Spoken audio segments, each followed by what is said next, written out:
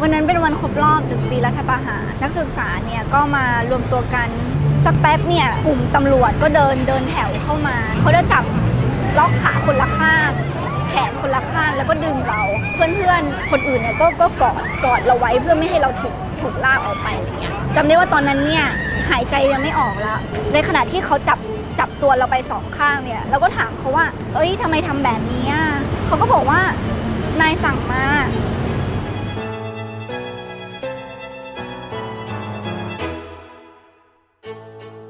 ยังเป็นความล้มเหลวของกกตในกาสรมัยก่อนเนี่ยการเคลื่อนไหวของนักศึกษาเป็นกลุ่มคนที่ทำงานด้านสังคมการเมืองอยู่แล้ว แล้วก็มองเห็นปัญหาเชิงโครงสร้างเมื่อเกิดสถานการณ์ทางการเมืองเกิดขึ้น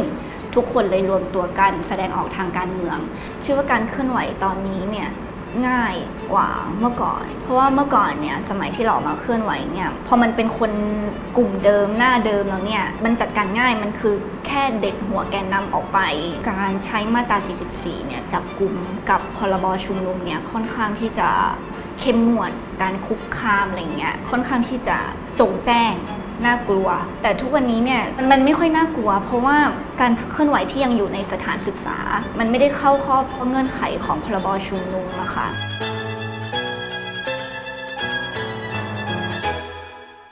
เราเห็นคนรุ่นใหม่ มีความกระตือรือร้นในเรื่องการเมืองมากขึ้น เราเห็นเด็กหลาย ๆ คนเนี่ยสนใจที่จะดูอภิปรายในรัฐสภา เราเห็นคนมีความหวังจากเมื่อก่อนเนี่ยในโซเชียลมีเดียเนี่ยน้อยมากที่จะเห็นเด็ก ๆ วัยรุ่นมาโพสต์เรื่องการเมือง แต่ทุกวันเนี้ยเห็นแทบทุกวันเลย ที่จะเห็นคนรุ่นใหม่ที่แต่ก่อนเนี่ยไม่กล้าที่จะออกมาพูดเรื่องการเมืองเพราะกลัว แต่ทุกวันนี้เนี่ยมันเปลี่ยนไปแล้ว ทุกคนสามารถที่จะออกมาพูดว่าประเทศเรามีปัญหาอะไร ถ้าเป็นเมื่อก่อนก็ตอบว่าการแสดงออกในโซเชียลมีเดียไม่ได้มีพลังในการเปลี่ยนแปลงสังคม แต่ทุกวันนี้เนี่ยแสดงให้เราเห็นแล้วว่ามันเชื่อมโยงกัน มันเป็นการแลกเปลี่ยนข้อมูลข่าวสารทำให้คนน่ะได้รับรู้มากขึ้น แล้วมันเกิดการตระหนักรู้ทางข้อมูลข่าวสาร นั่นก็เป็นปัจจัยหนึ่งที่ทำให้คนออกมาเคลื่อนไหว ในโลกออฟไลน์ แค่แฮชแท็กในโซเชียลใน Twitter Facebook อะไรเงี้ยมันสร้างความเปลี่ยนแปลงไม่ได้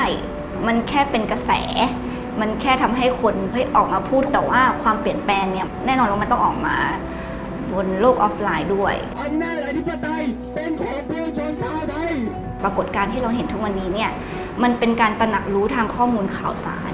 พลังของนักศึกษาที่เราเห็นเนี่ยแตกต่างจากสมัยก่อนมากๆ มันไม่มีแกนนำเลยนะ ล่าสุดเนี่ยได้ฟังน้องๆที่ออกมาเคลื่อนไหวเรื่องรณรงค์แก้ไขรัฐธรรมนูญเขามีข้อเสนอที่ค่อนข้างชัดเจนว่าต้องการแก้อะไร บางคนเนี่ยไม่ใช่เด็กที่จบกฎหมาย ไม่ใช่เด็กรัฐศาสตร์ เด็กเรียนแพทย์ เรียนสังคม ก็เข้ามามีส่วนร่วม อยากเห็นรัฐธรรมนูญที่เป็นของของพวกเขาอะค่ะขอเวลาอีกไม่นาน เวลาไม่นานของคุณนี่มันเท่าไหร่กันหรือคะ หรือจนกว่าอำนาจประชาธิปไตยจะหมดไปจากมือประชาชน ความสูญเสียในเรื่องของสภาพจิตใจเนี่ยนี่เห็นได้ชัดในรุ่นจีนที่พอเราไปคาดหวังกับมันมากๆ เรามองเห็นปัญหามันเป็นก้อนก้อนที่ใหญ่ แล้วเราเข้าไปแก้ไขปัญหาตรงนี้ไม่ได้อะสุดท้าย คนที่เจ็บปวดเนี่ยคือคือเรา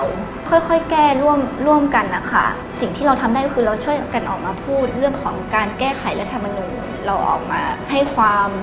สนใจกับเรื่องของปัญหาสังคม ตอนนี้มองสิ่งที่ทำได้แล้วก็ปลอดภัยกับชีวิตเราก่อนละกัน